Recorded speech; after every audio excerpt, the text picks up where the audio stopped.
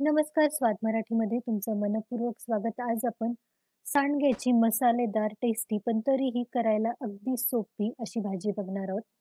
तर यासाठी सगळ्यात आधी तर आपल्याला एका जाड कढईमध्ये थोड्याशा तेलावर सांडगे छान खरपूस होईपर्यंत परतून घ्यायचे आहेत.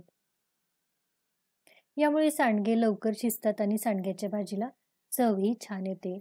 असे खरपूस भाजलेले सांडगे आपल्याला थोडेसे थंड झाल्यानंतर ठेचून बाजूला ठेवायचे. आता भाजीसाठीची तयारी आपण बघूया. भाजीसाठी अगदी सोपी तयारी आपल्याला भरपूर चिरलेला कांदा घ्यायचा आहे. आलं लसणाची थोडीशी पेस्ट थोडंसं चिरलेला टोमॅटो कोथिंबीर कढीपत्ता आणि इथे हा मी घरगुती काळा मसाला घेतला आहे या मसाल्यामध्ये तिखटही आहे.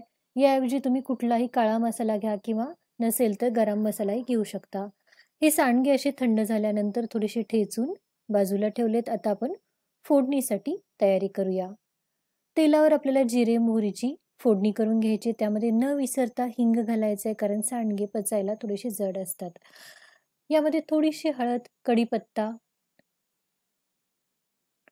तेलामध्येच थोडीशी कोथिंबीर आणि भरपूर चिरलेला कांदा आणि आलं लसणाची पेस्ट घालून हा कांदा आपल्याला थोडासा खरपूस असा छान तळून घ्यायचा आहे कांदा असा छान खरपूस परतून झाला की त्यामध्ये आपल्याला चिरलेला टोमॅटो घालून टोमॅटोला तेल सुटेपर्यंत आपल्याला परतून घ्यायचं आहे आता यामध्ये धने जिऱ्याची पूड काळा मसाला आणि अगदी थोडस लाल तिखट कारण या काळ्या मसाल्यामध्ये आधीच लाल मिरची आहे. थोडस परतलं की यामध्ये आधीच खरपूस भाजून घेतलेले आणि थोडेसे ठेचून घेतलेले सांडगे घालून घ्यायचेत.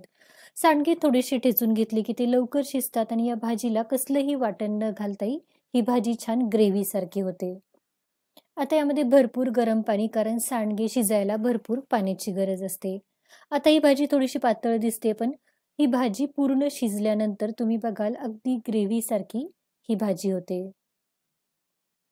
शेवटी मीठ आणि शिजल्यानंतर तुम्ही बघू शकता छान मसालेदार चवदार ग्रेव्ही टाईप ही भाजी होते.